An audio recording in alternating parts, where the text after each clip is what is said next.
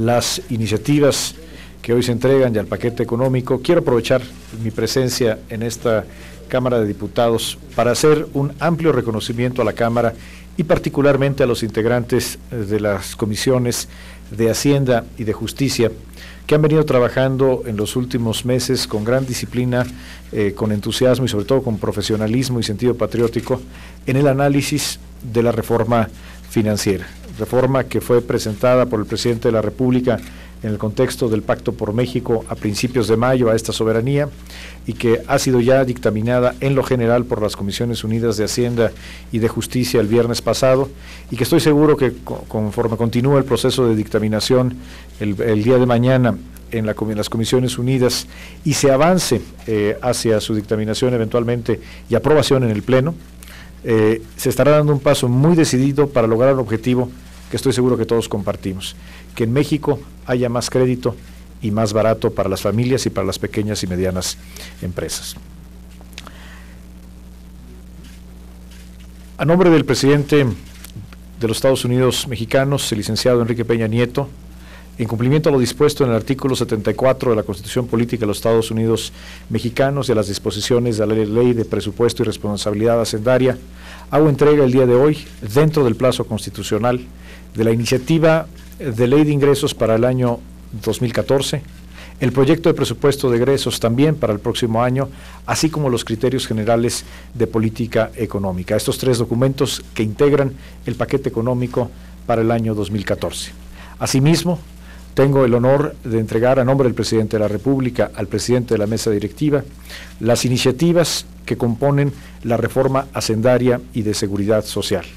Estas iniciativas incluyen una iniciativa de reforma constitucional a los artículos cuarto y 123, la creación, la propuesta de creación de cuatro leyes, abrogación de las leyes existentes y modificaciones a 15 ordenamientos legales.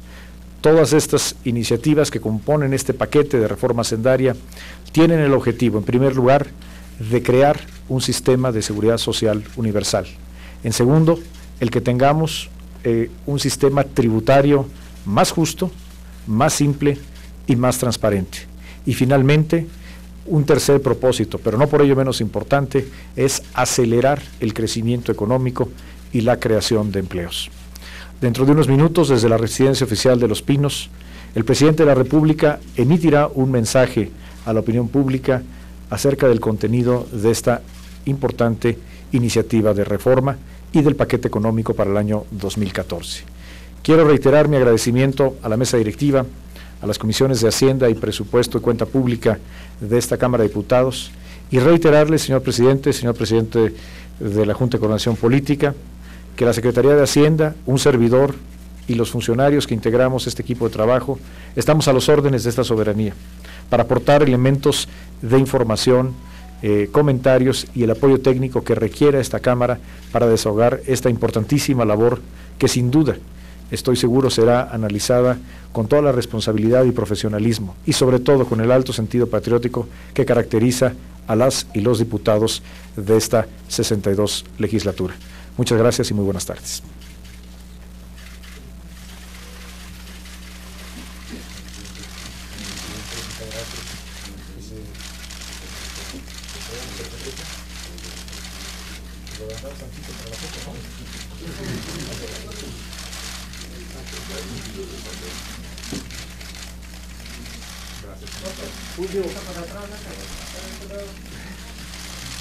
Porque ustedes no lo están cargando.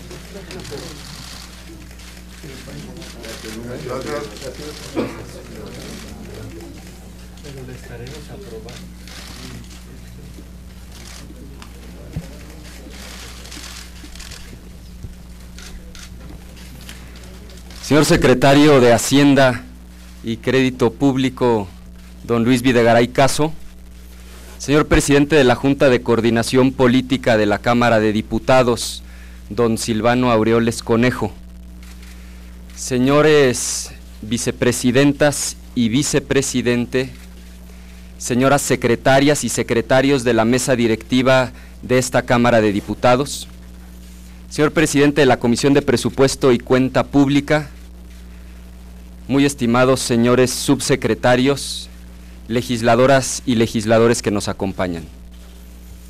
En mi carácter de presidente de la Cámara de Diputados, les doy a todos ustedes la más cordial bienvenida. Las diputadas y los diputados aquí presentes expresamos nuestra convicción de continuar el diálogo institucional entre los poderes. Así lo hemos hecho y así lo seguiremos haciendo. Hoy recibimos el paquete económico para el ejercicio fiscal 2014 que envía el titular del Poder Ejecutivo por conducto del secretario de Hacienda. A este proyecto que recibimos en materia de ingreso y gasto, ni nuestro aval ni nuestro rechazo anticipado. Analizaremos y discutiremos a profundidad el paquete económico. Lo haremos con absoluta responsabilidad mirando en todo momento por el bien y por la prosperidad de México. Lo discutiremos con la convicción de que una política hacendaria de Estado debe expresar una visión no solo congruente, sino integral, integral de ingreso, gasto y deuda pública. Y sabemos que una visión integral implica reconocer que al establecer contribuciones estamos seriamente obligados con las mexicanas y los mexicanos a garantizar eficiencia, transparencia, honestidad y eficacia en el gasto. Una vez discutidos y aprobados los ingresos por ambas cámaras, las diputadas y diputados abordaremos la deliberación y la aprobación del presupuesto. Lo haremos con la firme convicción de que verdaderamente sirva para atender las prioridades nacionales. Educación, salud, seguridad, infraestructura, crecimiento económico, generación de empleos y reducción de las desigualdades. Seremos rigurosos en el cumplimiento de los plazos que marca la ley. Votaremos la ley de ingresos en esta Cámara a más tardar el 20 de octubre y votaremos el presupuesto de egresos a más tardar el 15 de noviembre. Ahora, si me lo permiten, en este momento hago entrega de la constancia de recepción del paquete económico en tiempo y forma al señor secretario de Hacienda y Crédito Público, don Luis Videgaray Caso.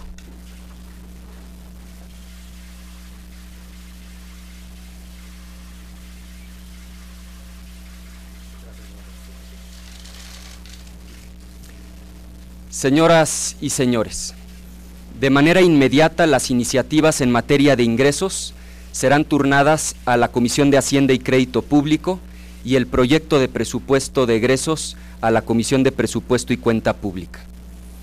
En esta discusión fundamental para el país, que nuestro único compromiso estratégico sea con México y nuestra única estrategia sea la deliberación democrática.